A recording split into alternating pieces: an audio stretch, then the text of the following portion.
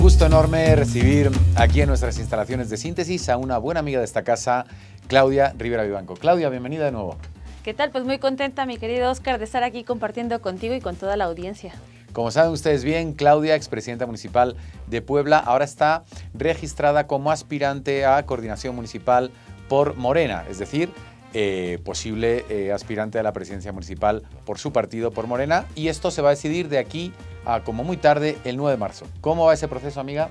Muy probablemente se va a anticipar, eso es algo que ya lo hemos mencionado tanto quienes aspiramos como las diferentes dirigencias de los partidos son los que vamos en coalición. Eh, tentativamente entre esta y la siguiente semana ya sabremos.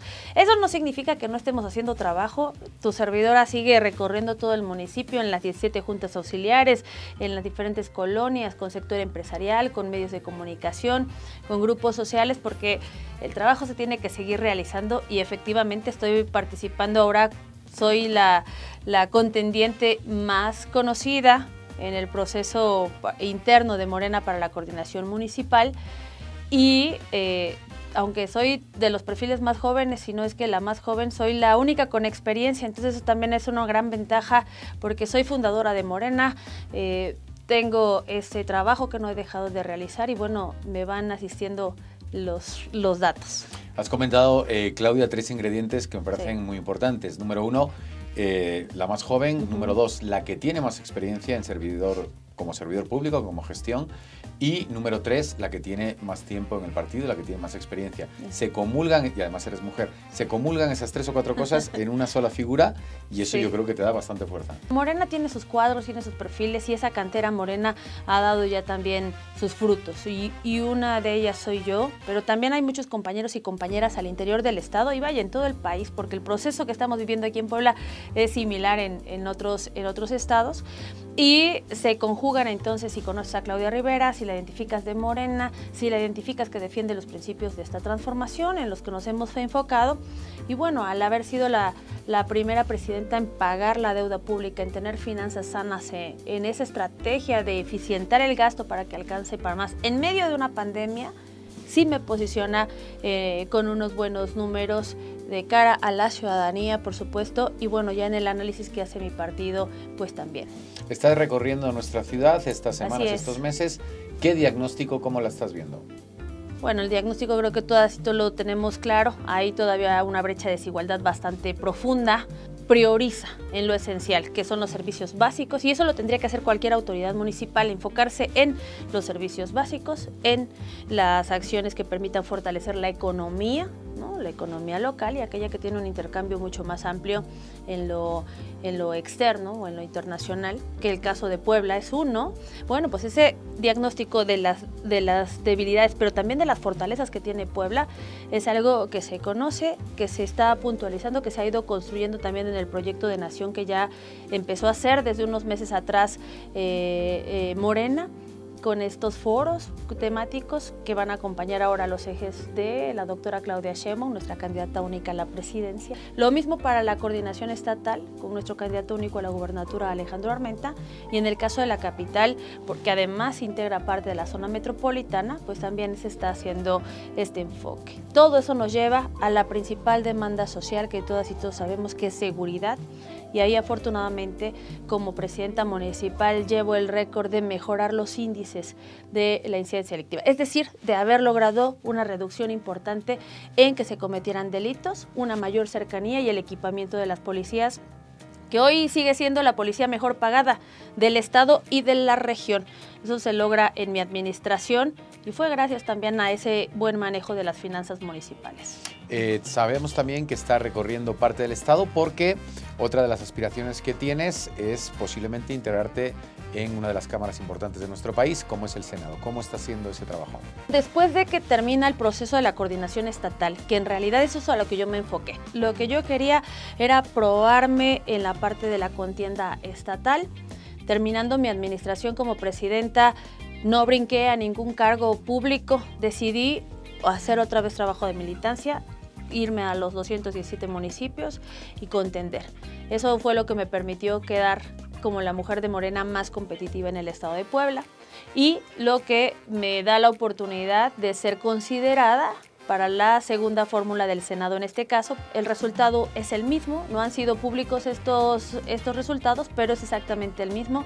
Ahí aparezco como, como la contendiente más competitiva. Entonces, es una posibilidad, sin embargo, mi partido desde el ámbito nacional me pidió que me enfocara en la capital, justamente por esta experiencia y por este trabajo, y que nos empezáramos a fortalecer desde ahí. Tiene toda la pinta, eh, Claudia, que es tiempo de mujeres, y en ese sentido la doctora Claudia Sheinbaum ya va a gran velocidad eh, en la contendiendo para la presidencia de la República. ¿Cómo estás viendo el trabajo de, de la doctora?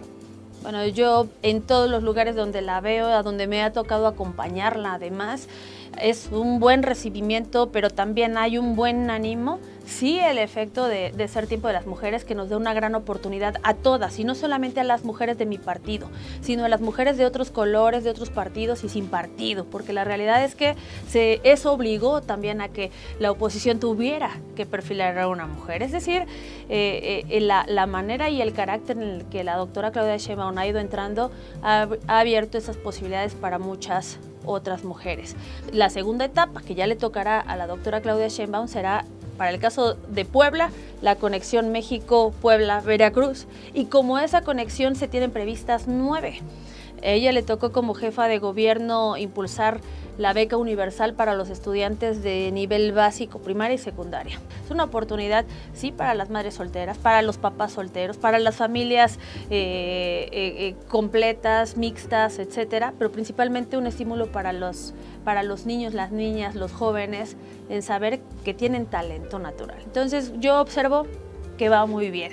Yo personalmente me siento muy orgullosa porque además es una compañera de la que he venido aprendiendo y con la que vengo caminando desde 2005. Y con esta energía que tú tienes, Claudia, no has dejado de prepararte. Sabemos que estás estudiando ya desde hace año y pico un doctorado. Cuéntanos.